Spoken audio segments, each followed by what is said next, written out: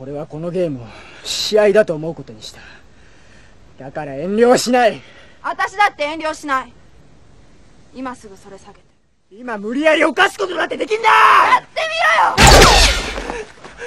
大丈夫？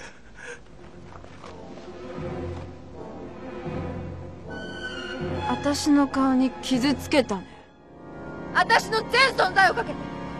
あんたを否定してあげる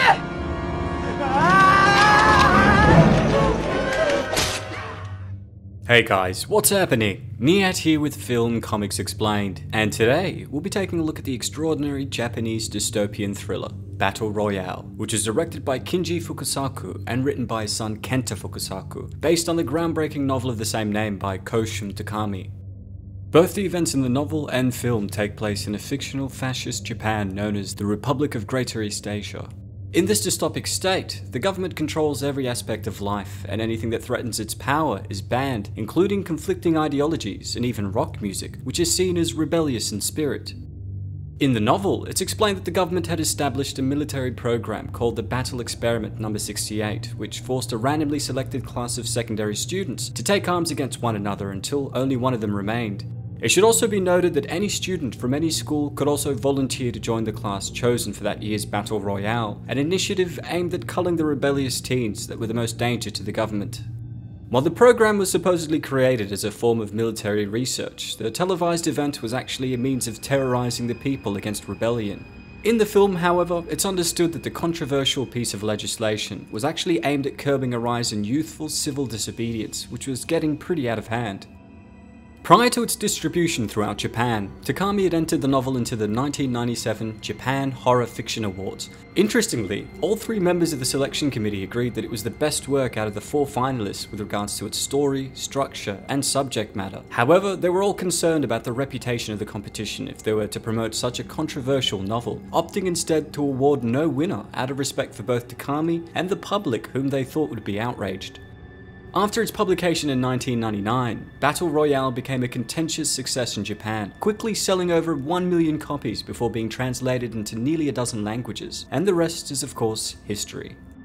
Though hugely controversial during its initial release in 2000, the film was also a commercial success, going on to become one of the highest grossing films in Japan for that year, spawning a sequel and a manga series written by Takami himself, Regarded as one of Fukasaku's best films, since its release on DVD, Battle Royale has gone on to develop a global cult following and has inspired a litany of foreign films like The Tournament, The Belko Experiment, The Condemned, and The Hunger Games, which all feature a similar format consisting of a group of people either choosing or being forced to hunt each other to survive.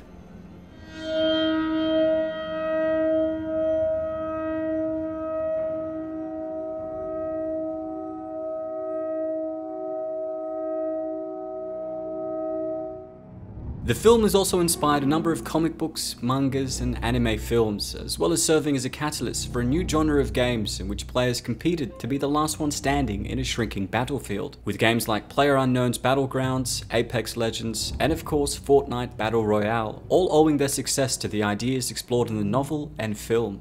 Not only has its form and structure influenced pieces of literature that followed it, but its style has also inspired many filmmakers like Quentin Tarantino, who'd considered it to be the best film he'd seen in over a decade. Along with grindhouse cinema of the 70s, Battle Royale also served as inspiration for Quentin Tarantino's Kill Bill films, which were no strangers to graphic portrayals of unrestrained violence. I should also mention that Kill Bill co-starred Chiaki Kuriyama as Gogo, who was also in the original Battle Royale movie, where she plays Takako Chigusa, a girl in yellow sweatpants who is accosted by one of her peers who attempted to force himself on her, which consequently transforms her into the very incarnation of vengeance itself. Sound familiar?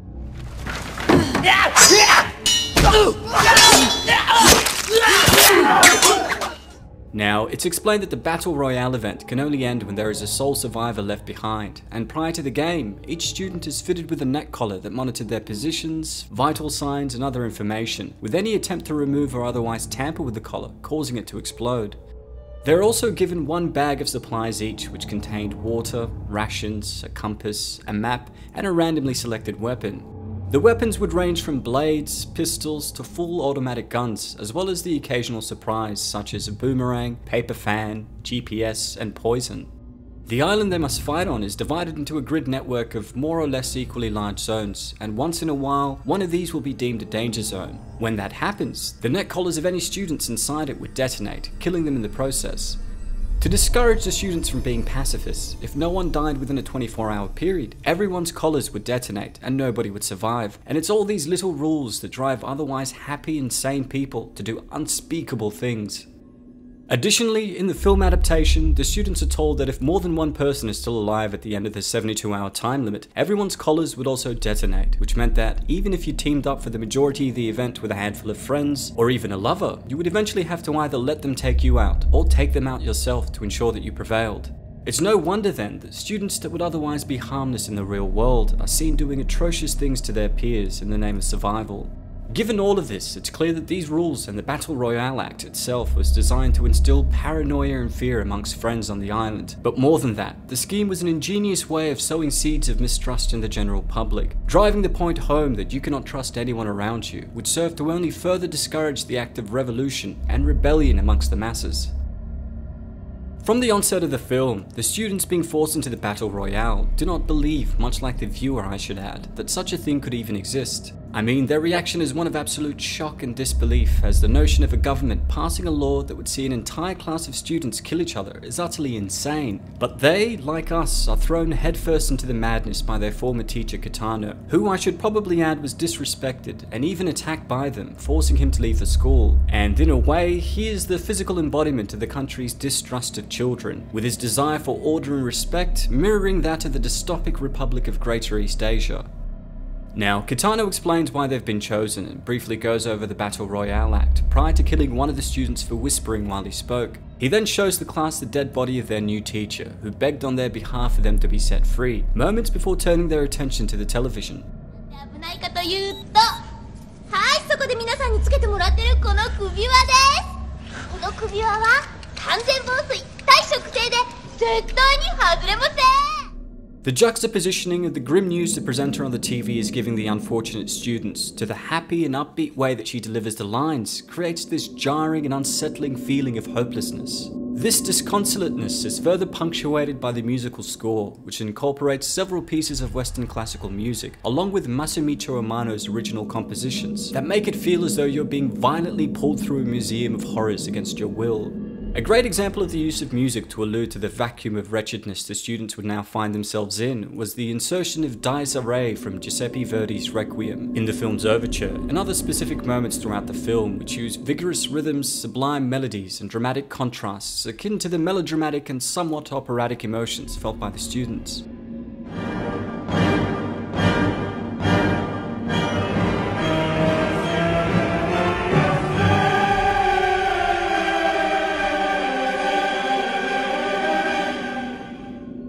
One by one, the students fall at the hands of each other, spurred into action by their impending annihilation, and helped along with an assortment of death tools.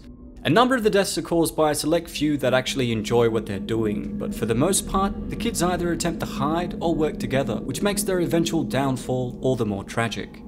This sense of tragedy is best encapsulated in my favourite scene in Battle Royale, and one of my favourite scenes in film in general, which I call the poisoning of Shuya's food. In it, we see a group of girls who are great friends cooking a meal and discussing what to do next while an injured Shuya recovers above them. Just to provide some context, at the beginning of the film, Shuya was attacked by a desperate fellow student named Oki, and in the ensuing struggle, Oki was killed when his weapon impaled his own head. And though this was an accident on Shuya's part, a girl named Yuko who had witnessed the death blames him for the incident. Unbeknownst to the other girls, Yuko poisoned Shuya's food with potassium cyanide, which was the weapon she'd been assigned, but his food is suddenly snatched out of her hands and eaten by her friend Yuka.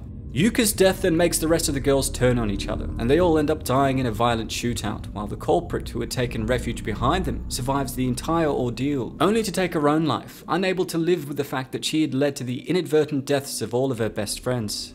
Shuya and Noriko, who were the protagonists of the film, make it to the final four, along with the psychopathic Kazu, who'd volunteered for the event, and former winner Shogo, who'd also re-entered the contest with the aim of dismantling the battle royale from the inside, in protest for having been forced to kill his girlfriend in the previous event.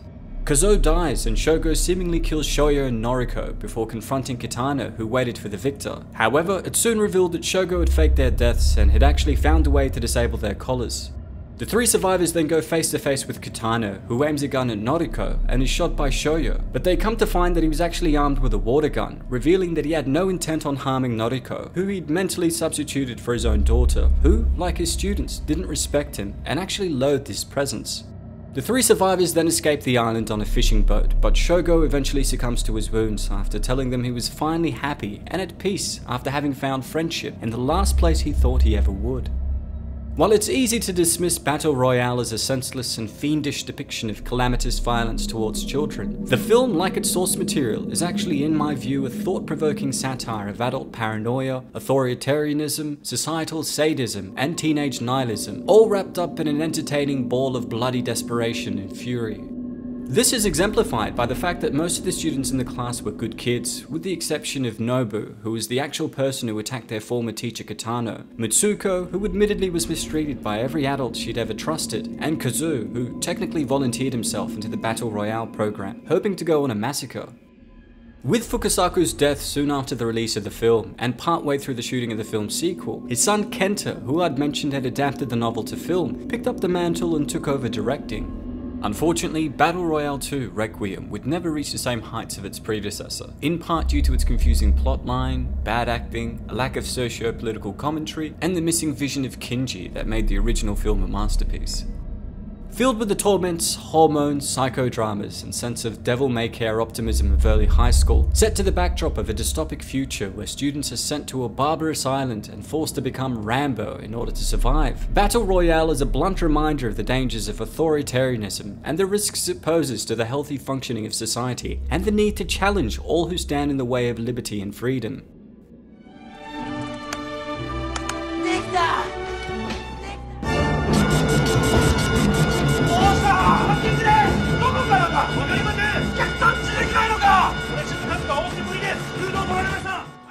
Well, that's all for today, folks. A big thanks to all of you guys who requested we explore Battle Royale.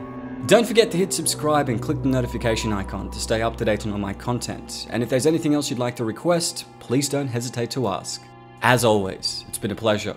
Niyat here with Film Comics Explained. Thanks for stopping by.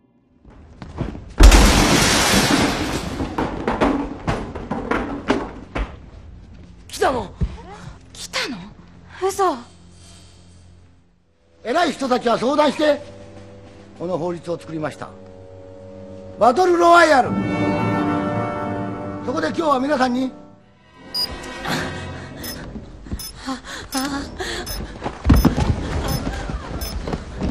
みんな逃げた方がいいぞ。なんで